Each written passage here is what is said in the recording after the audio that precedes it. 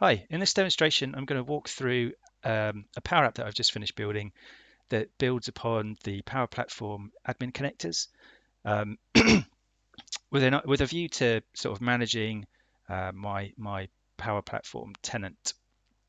So in, in the app, um, I want to be able to manage the apps that are, that are there, the environments, the flows, uh, but I also want to be able to manage access requests. So I have an environment whereby um, users fill out a Microsoft form.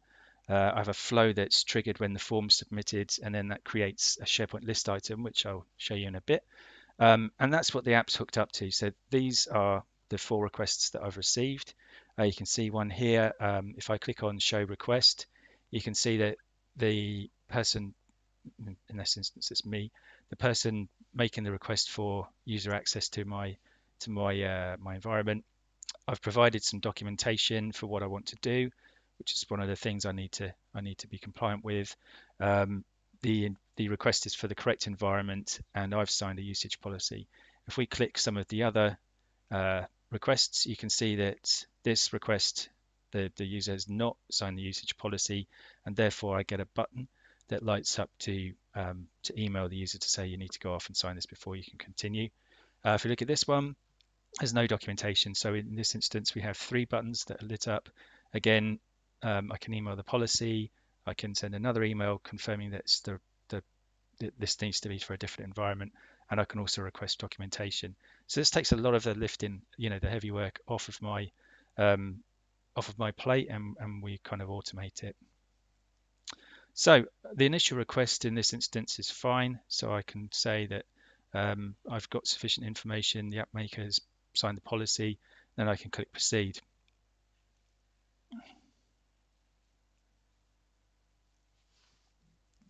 Um, now we've moved on to stage two of this request. You can see here I've got a little bit of history. Uh, in this instance, um, so the next thing, I've got some instructions to say that I need to review the documentation to make sure that we've got everything that we need. Uh, I'm just, if you click on the review documentation button, it actually takes you to a SharePoint list item um, where there'll be an attachment. So that's how we're checking for that. So we'll click proceed. The, the next stage is to um, seek approval from the manager. So I click this button, triggers off uh, an approval process. As soon as that's come back, um, which will say, it, you know, just for the sake of the demo, uh, we then get to approve or reject the access. Now, if I click approve, it will put my AD account into uh, a specific um, security group, which is then obviously got permissions to, to the environment. Let's take a look at the environment. So you can see uh, I've got a number of trial environments here. I have a production environment and my default environment. Now, I don't really want too many trial environments. So I can see that this person's created it uh, some time back. If I click on delete, I can include a message to say, uh, this will send an email to say we're, we're going to delete your um, delete your trial environment. If you've got anything in there, make sure you move it away. Um, and if I click on delete, that's going to send that that email and then trigger the process for deleting trial environments. That's how we're going to kind of manage this. You can see that she's got two apps in that environment. So obviously we'll give her a bit of time to uh, confirm if she needs to move those apps to a different environment.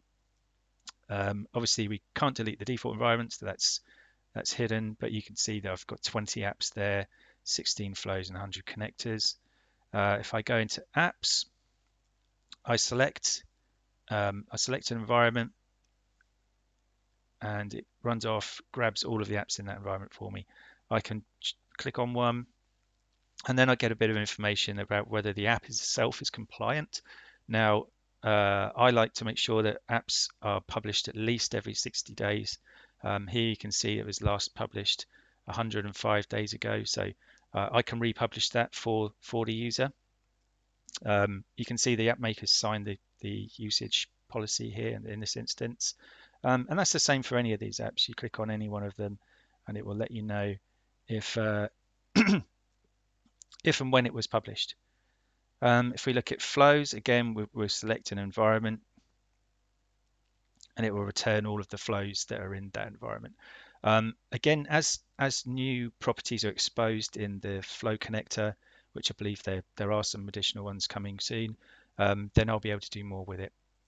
But yeah, feel free to take a copy of this. This is going to be uploaded to the Power Apps community blog, uh, the, the community blog post that I'll be writing. Um, and I will also export the the SharePoint list. So this is the, the list that hosts all of those requests so that you can see what fields you would need to create if you wanted um, if you wanted this in, in, in your environment. Okay, thanks very much.